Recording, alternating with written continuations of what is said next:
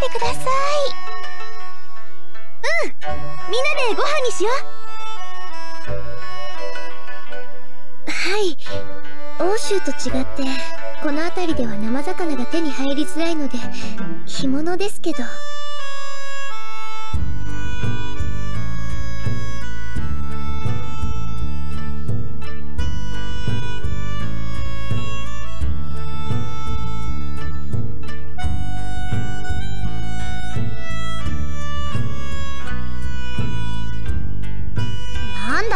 べながらニヤニヤして気持ち悪いやつだな。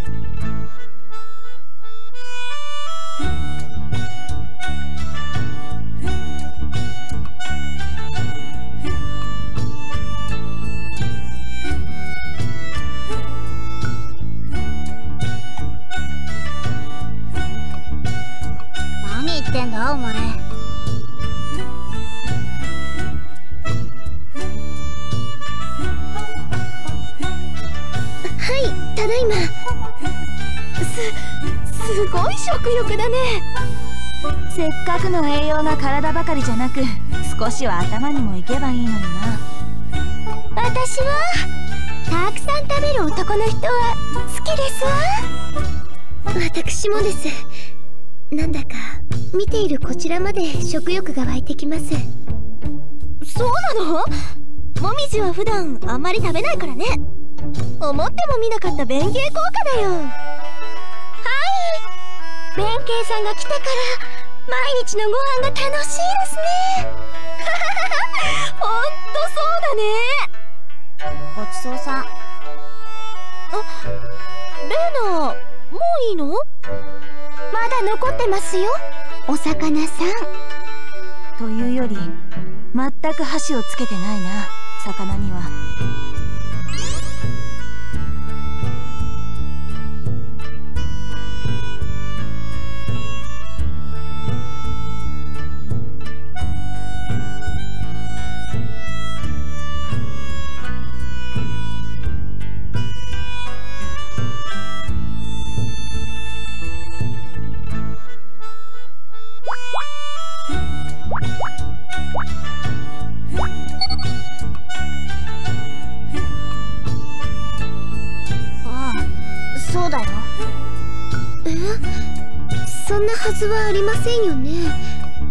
この間までは骨も残さず食べてしまうくらいでしたもの。うるさいな。今日から嫌いになったんだよ。だからいちいち突っかかってくるなよな。大体なんだよお前。バクバク食いやがって。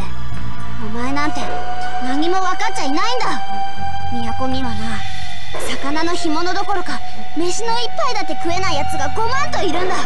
それだけじゃない。戦で死んじまったやつらなんてもう二度と飯も食えないんだぞ。レーナ言わすんだ。何をイライラしているのかは知らないが弁慶に当たっても仕方がないだろう。私は別に。レイナいいから座りなさい。レーナさんの言った通りなんですから。せっかくのご飯を残すのは良くないんじゃありませんか？お箸を持って。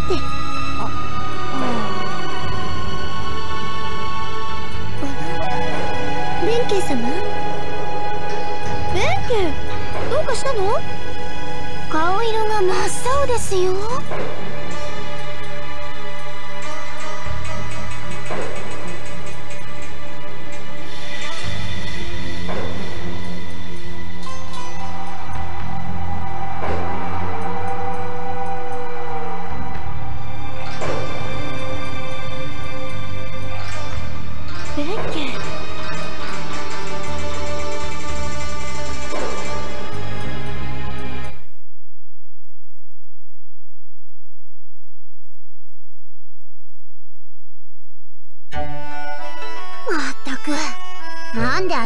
こんな面倒なことしなきゃなんねえんだよ。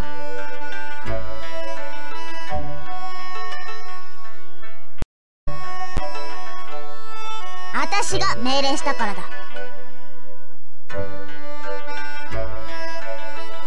いいじゃん別に。どうせ弁慶なんて戦場じゃほとんど役に立たないんだから。だからせめて普段は役に立つってとこ見せろよな。きることならもう戦には出たくないんだろ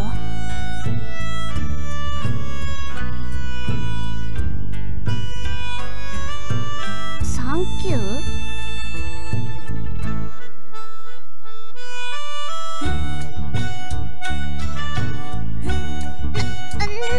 それ。私は別に。え？やるって？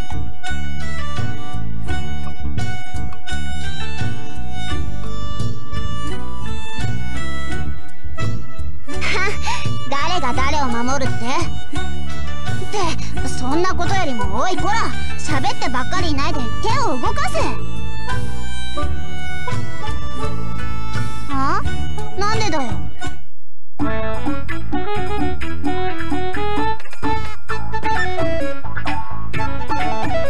み見たのかお前。私たちの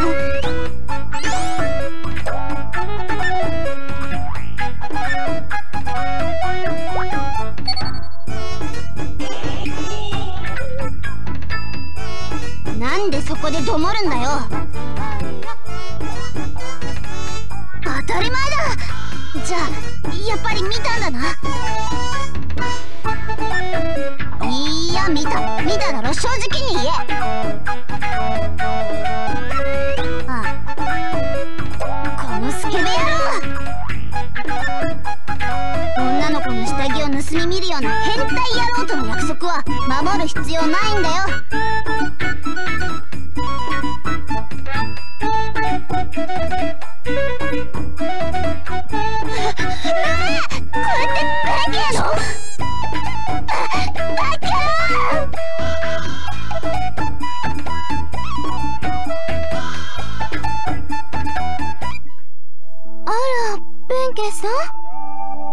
ふんどしなんか握りしめてどうしたんですか？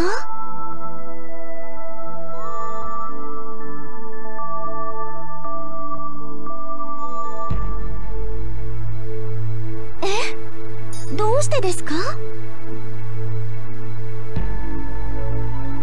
うーんそうですね。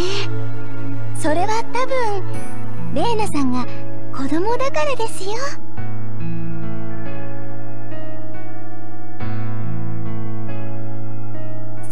ですね。ここにいたんだ。二人とも。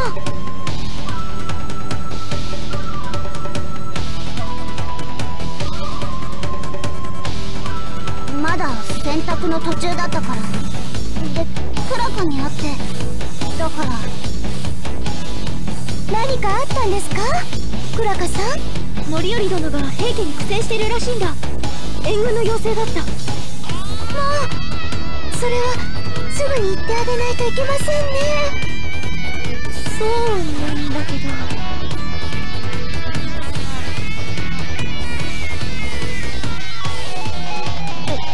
うん。ずいぶん気合が入っているみたいだけど。何か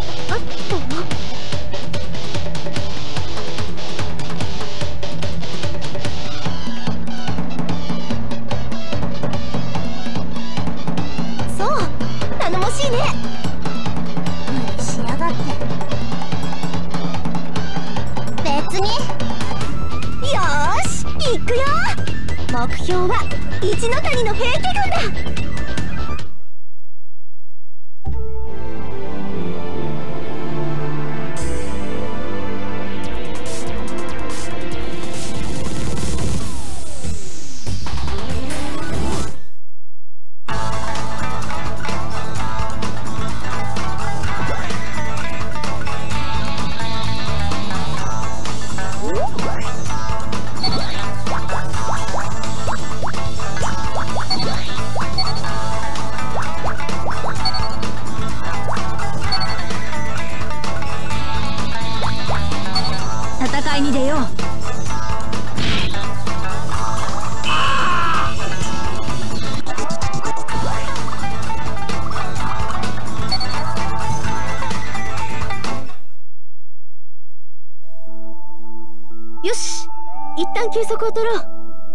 以上続けてかけるのは馬がかわいそうだ。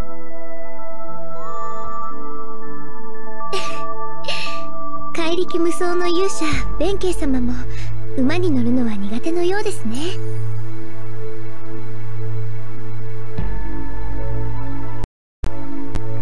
まあそれは珍しいですね。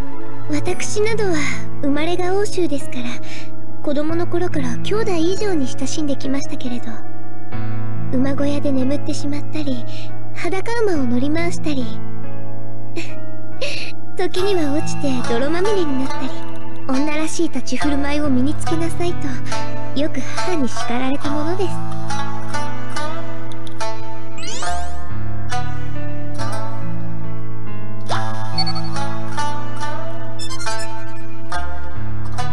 はい馬だけじゃなくき物は何でも好きです。私。そうですね。戦ばかりの世の中ですけど懸命に生きようとしている人々の姿には心打たれます。でもその頃のおてんばのおかげで今こうやってクラカ様のお役に立てるのですから世の中というのは何が幸いするか分かりませんね。もみじ殿。クラカ殿がお呼びだ。今後のルートのことで相談があるらしい。はい。では弁慶様失礼いたします。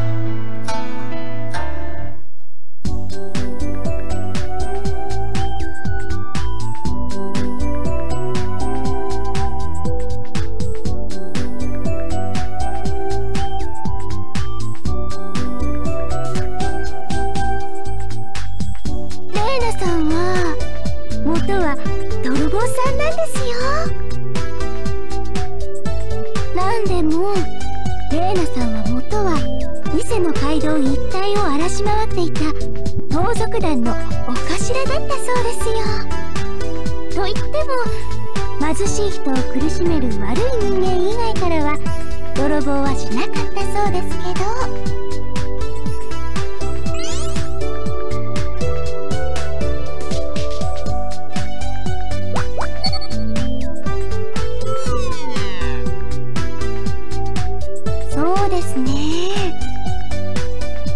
の心配はしなくてもいいかもしれません。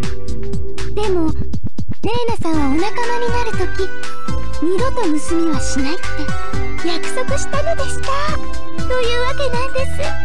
あ私が喋ったってことはレイナさんには内緒ですよ。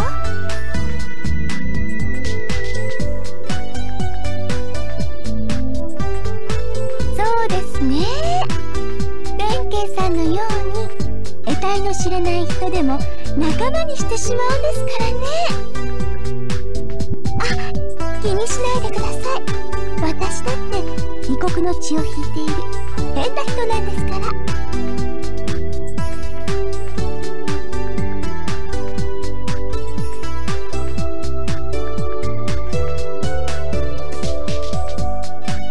忍者さんのお仕事は臨時雇いですから。泥棒さんもやっていたらしいんですよ。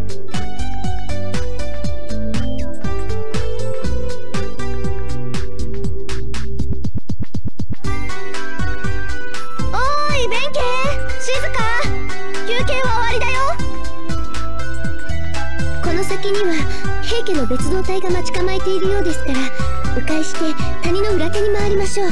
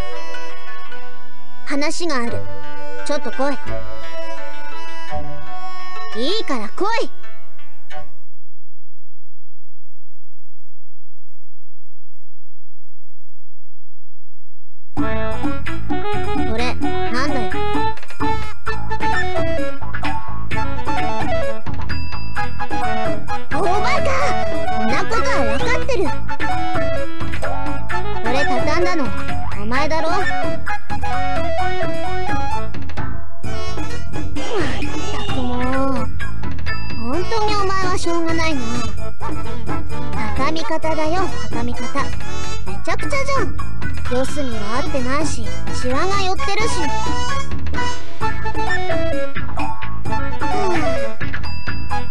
だいたいお前はなってない。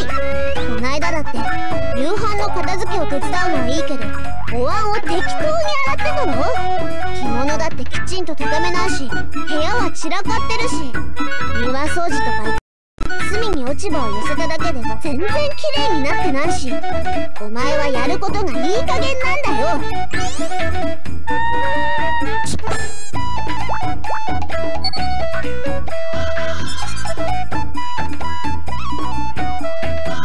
ち違う。別にお前を気にしてるわけじゃ。違うって言ってるだろ。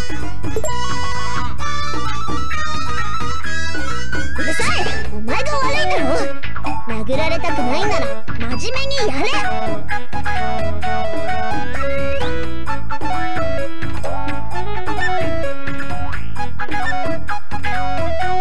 へえお前いつもこんな風にお母さんに言われてたわけ？なるほどね。それで甘ったれなわけだ。お前だよ。まったく。なんでクラカもお前みたいなの頼りになるとか言って呼び寄せたんだ?体はでっかいけど中身は全然子供じゃん。私は7つの頃から一人で何でもやってたぞ。本当だ。少なくともお前よりはちゃんとしてた自信がある。だからお前にできないはずがないだろ。りあえず自分のことくらいちゃんとできるようになれよな。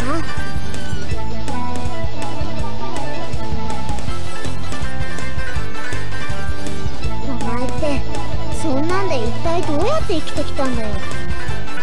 まあ前いたとこでは誰かが手伝ってたとしてもよく一人で今日まで来れたもんだな。適当ね。周りにたくさん迷惑かけてたんだろうな。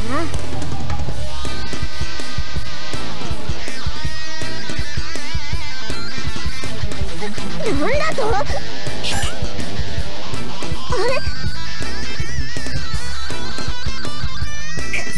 ああ弁慶のくせに避けるな！人のことバカにしといて。私はお前に親切に助言してやってるだけだ。だからこういう細かいことでもきちんと守れってこと。そういうとこから信頼関係ってのが生まれたりするもんなんだぞ。まったく大きいなりしてこんなことも言われなきゃわかんないのかよ。なんだよ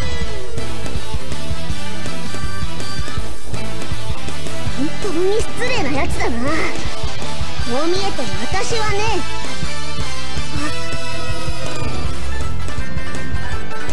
うるさい。何でもない。いいからその布ちゃんと畳み直しておけよ。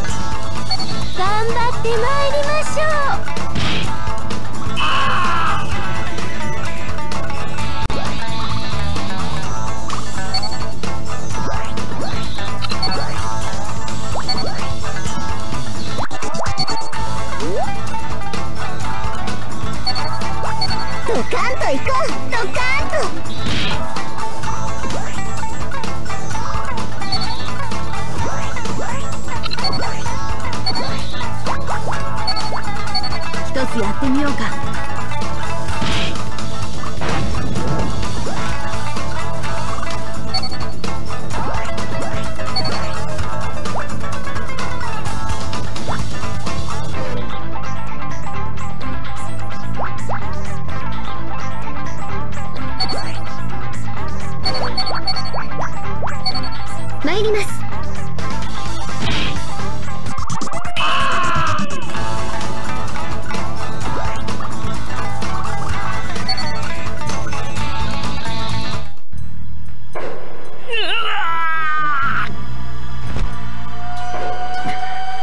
石の谷に布陣した平家の守りは想像以上に固いようだ。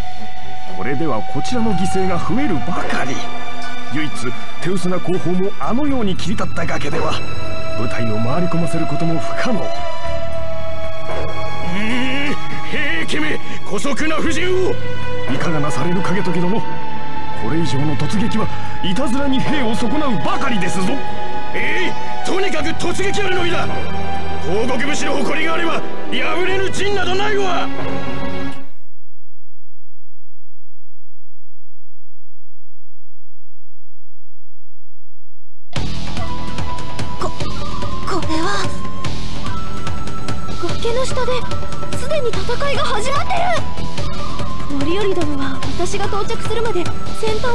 言っていたのに。平家のやつらがこっちの都合に合わせてくれなかったってことだろ。あるいは範頼さんの命令を無視して仕掛けた人がいたかですね。おまけにこっちは道に迷って崖の上私たちがあそこに到着するまでに戦が終わらなきゃいいけどもし合戦に間に合わぬとあっては武士として最大級の恥辱となりましょう。倉家様。あもみじが戻ってきたぜ。倉家様偵察の任果たしてまいりました。戦況はどうなっているの？今のところは一進一退のようです。平家軍の配置は？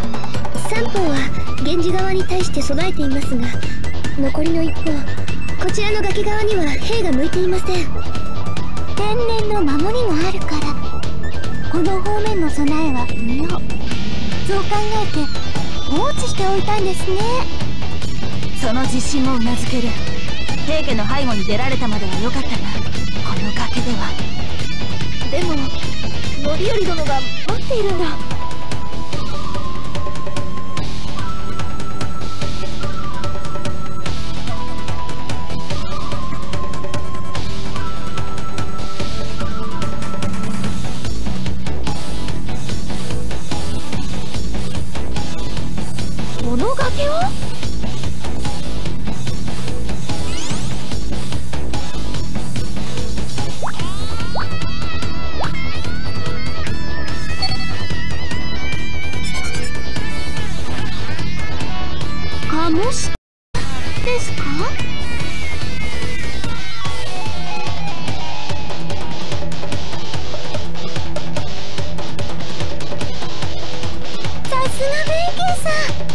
利口さんです。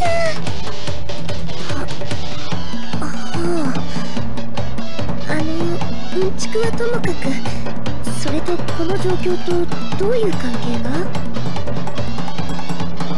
ちょっと待て。カモシカのような足だと？それはどういうものを指すのだ？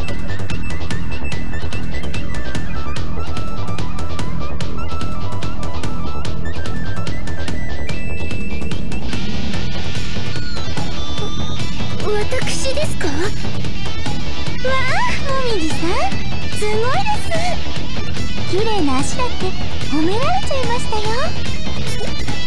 そんなあの私とても嬉しいのですがちょっぴり恥ずかしいです。なるほど。つまりだまるでカモシカのごとき足の持ち主を指すわけだないや待て。それはカモシカのような足ではなくカモシカの足のような足と言うべきではないか？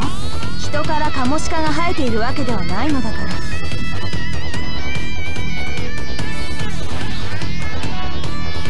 あもう。いい加減にしろよな。冗談言ってる場合じゃないだろ。そうだよ。弁慶はともかく夜市まで。まったく。弁慶のせいで怒られてしまった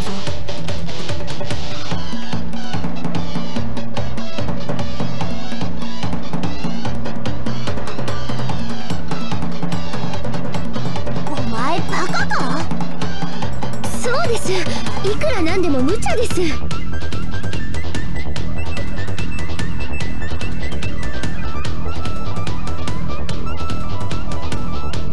そこまで言うからには先頭を切って降りていく覚悟があるんだよ。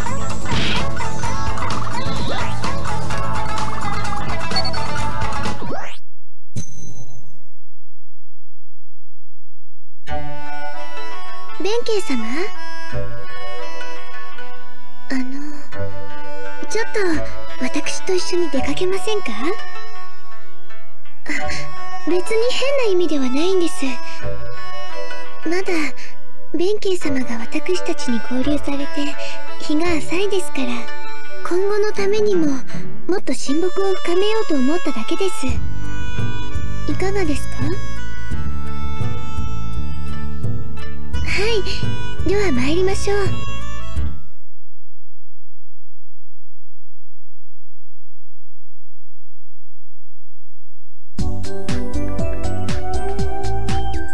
そうですね。最近では戦の場は今日から離れていますしそれにクラカ様指揮のもと源氏の兵の軍旗はきちんとしていますから。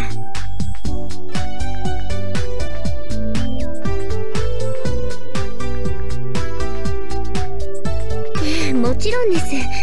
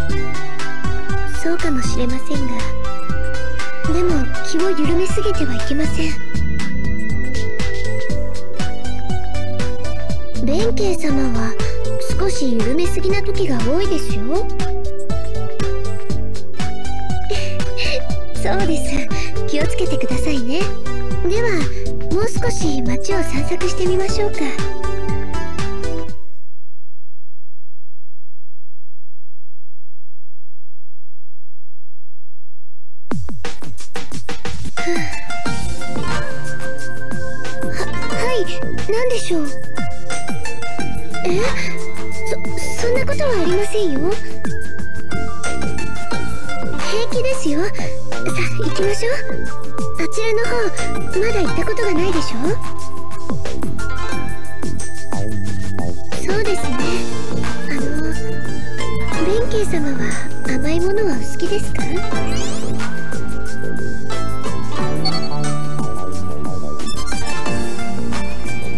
そうですか。よかったです。近くに美味しいお団子を出す茶店があるんですよ。ろしければ行ってみませんか？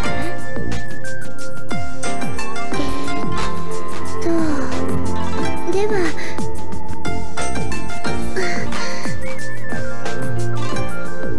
いえ少しめまいがしただけです。平気ですよ。大丈夫です。少し休めば。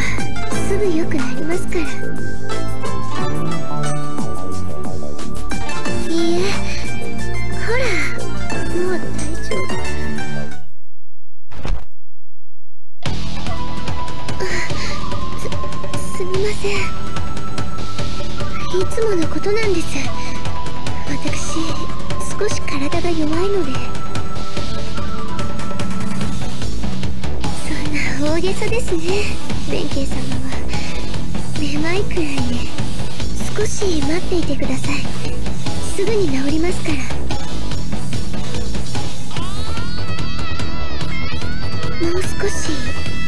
待ってください。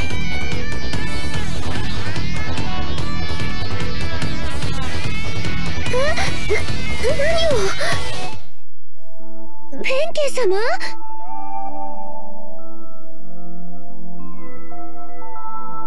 そうではなくてここれで街を歩くのはそのあの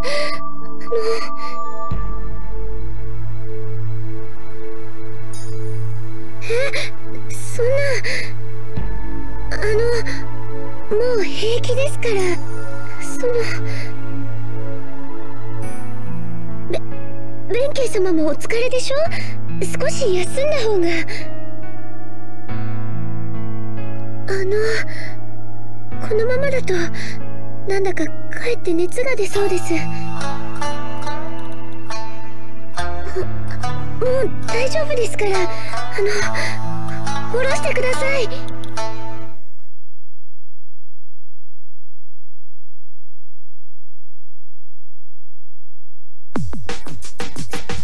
すみません。私からお誘いしていてその。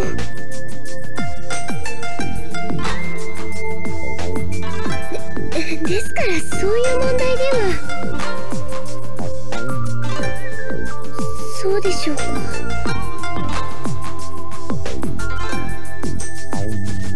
確かにクラカ様にもそう言われたことがありますが。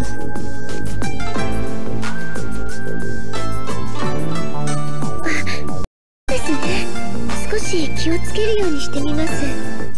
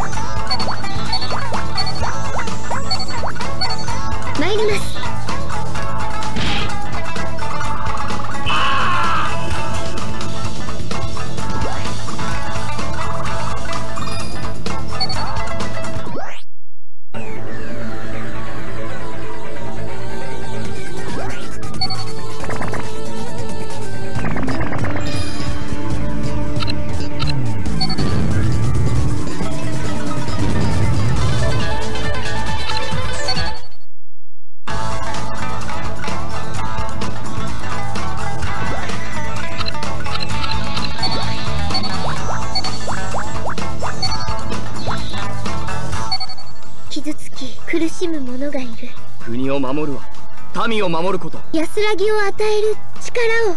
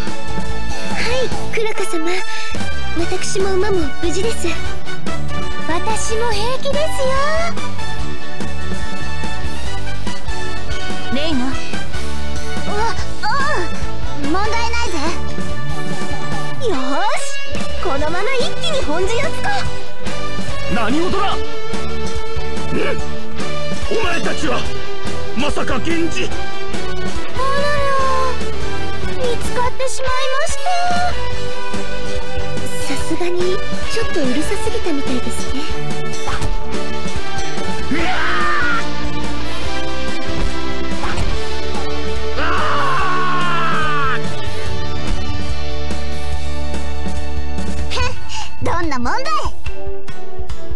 いしかし今の声で完璧に気づかれたな。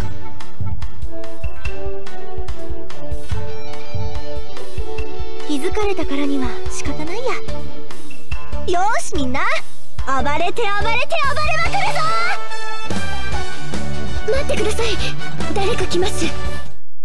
裏手が騒がしいと聞いて様子を見に来てみれば源氏のネズミが入り込んでいるとはな托乱しようというつもりだろうがそうはさせん。オイラの乗常殿だよね。貴様は義経か。源氏の軍の中にはいなかったはず。まさかあの崖を馬で下ってきたというのか。そうだよ。し信じられん。義経さんは武家の常識に縛られない方なんですよお酒そんな少人数で何ができる？んお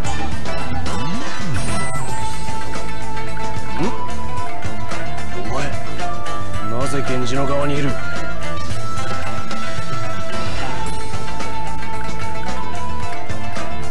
ふん弁慶を名乗るか？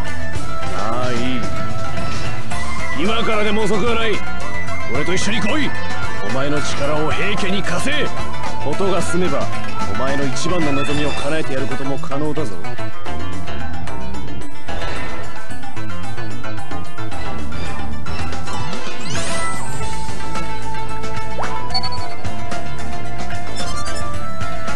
それでこそ弁慶だぜ。共に平家と戦いましょう。ならばここで死ぬがいい弁慶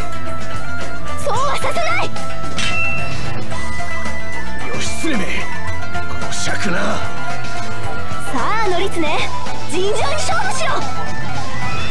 源氏の小っぱが小賢しいことをまとめて相手してやるわ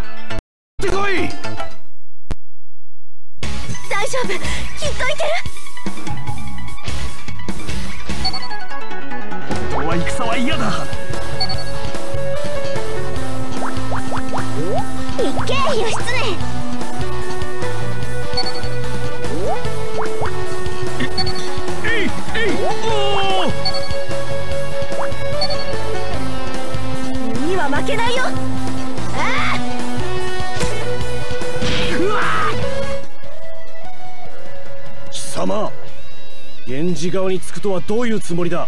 だからさどうして俺があんたたちの味方をしなきゃなんねえんだ？本当に何も知らぬわけか。どういうことだ？ふん説得など性に合わん。行くぞ！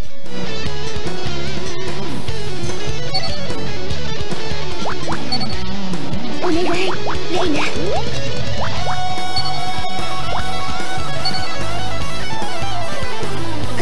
なやっ。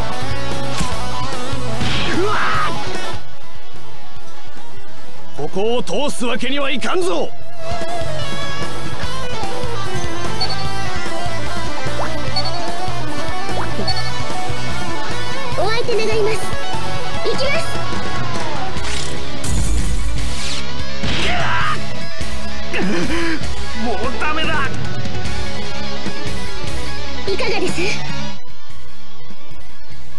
家はどうして弁慶にこだわる？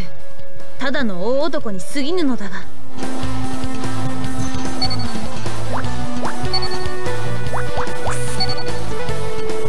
いざ勝負！はうわ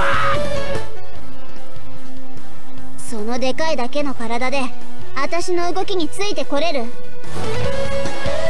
貴様の力見せてみようまだまだ。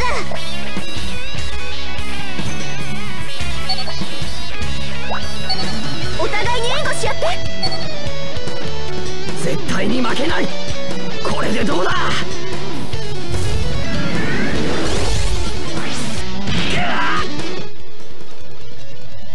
崖を降りたせいでなんだかまだ足元がぐらぐらします。源氏め討ち取ってみせるぞ。どりゃ 何のこれしき。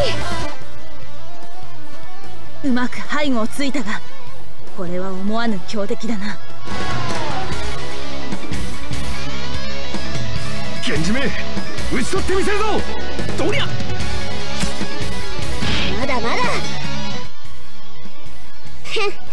さっさと勝負つけるぞ。早く。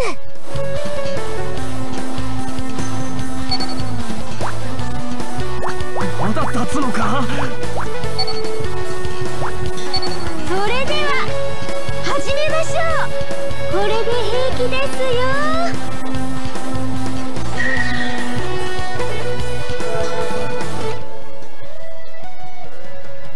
レイナの動きが何かおかしい気がするのですが源氏め討ち取ってみせるぞ。どりゃ。何のこれしきあそうか。今のが日踊り越えってやつか。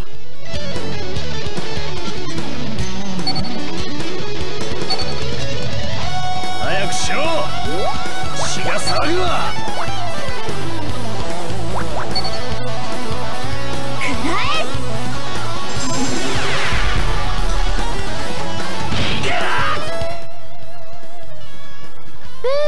さん？何をブツブツ言ってるんですか？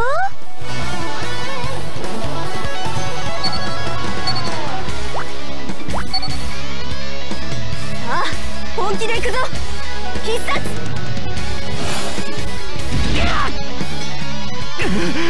もうダメだ！どんどん行くぞ！このような奇策を取るとは義経やはり侮れんな。私だけの力じゃない。みんなの知恵と勇気だ。絵空事を言うな。小兵と女子供に何ができる。何ができるか今から見せてあげるよ。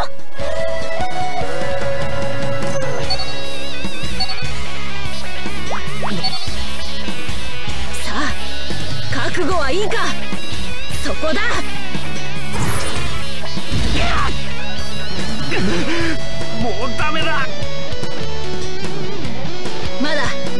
余裕はあるぞ。かかってこい。崖を降りて隙をつけただけで勝ったと思うなよ。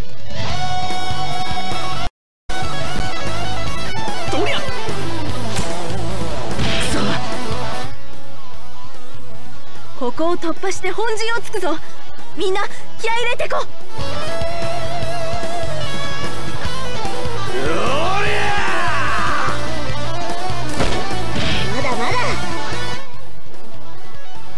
ここで勝てば義経様の大手柄になる。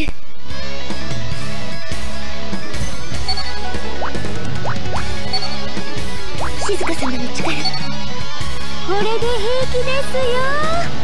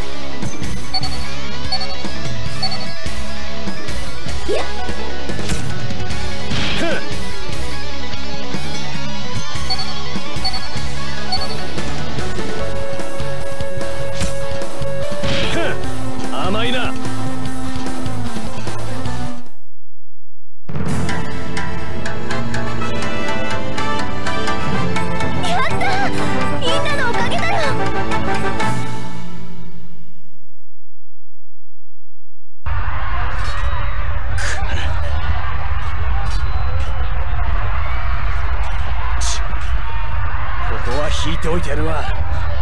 次に会う時には覚悟しておけ。